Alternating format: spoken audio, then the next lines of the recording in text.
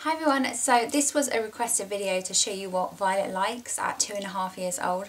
So I basically thought I'd just come in her room and pull out everything that she plays with and I will try and link everything below as well if you're kind of wondering where I got these things from. But, but yeah, she's two and a half now, she's over two and a half, she's actually three in October, which just blows my mind. I can't believe she's just, you know, she's really coming into herself and she really knows what she loves and she's such a girly girl. She really really is. And and the weirdest thing is it's um it's not even pushed on. It's not like we're like right lots of babies come play with the babies. She basically just she's so nurturing and she's so um I don't know she's just so, such a girly girl. And it's just it just shows you in all these toys that she plays with. It's just yeah it's just really really sweet.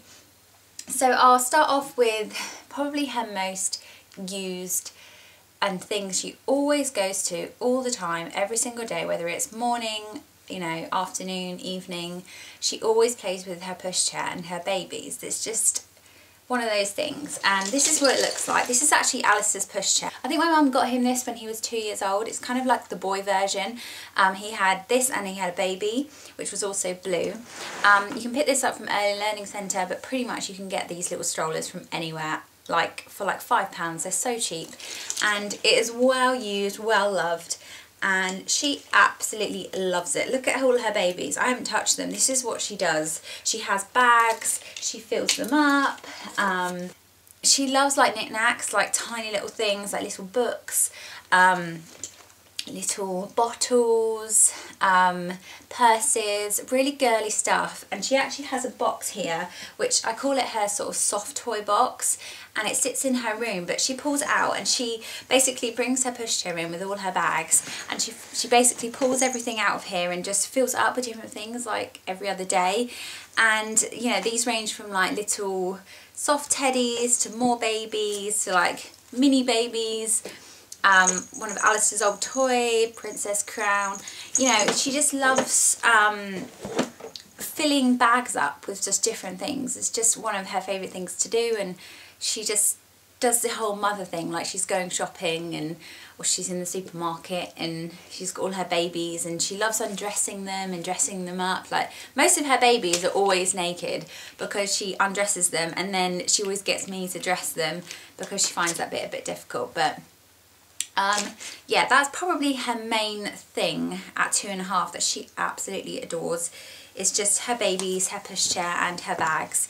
Um, yeah, so moving on from those, um, she loves picnics. Like she happily pull out a mat. We've got loads of different sort of like washable, white, like white-proof mats and blankets and stuff. And we just like pull out blankets and we just have like a really nice tea party with our picnics and she loves this. I can't remember when I got this. Oh, it feels like such a long time ago. Um, but this is just the VTech uh, Leapfrog picnic basket.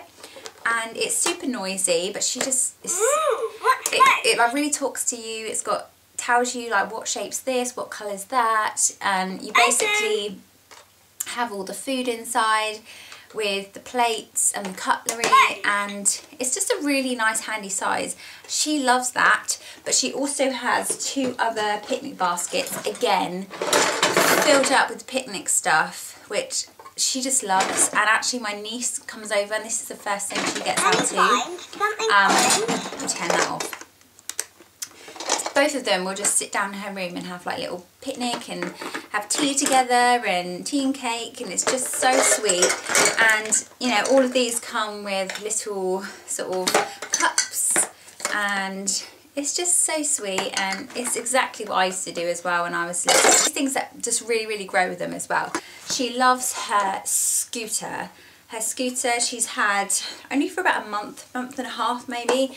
Um, I got them both scooters um, because she's always wanted one. She's played on Alice's old one and it's kind of battered. So I got her own little one. This one's a Minnie Mouse one. It's actually from Argos. I think it was £20 and she's complete whiz on it. I literally, it worries me when, when we go out and she's on concrete. She goes so fast.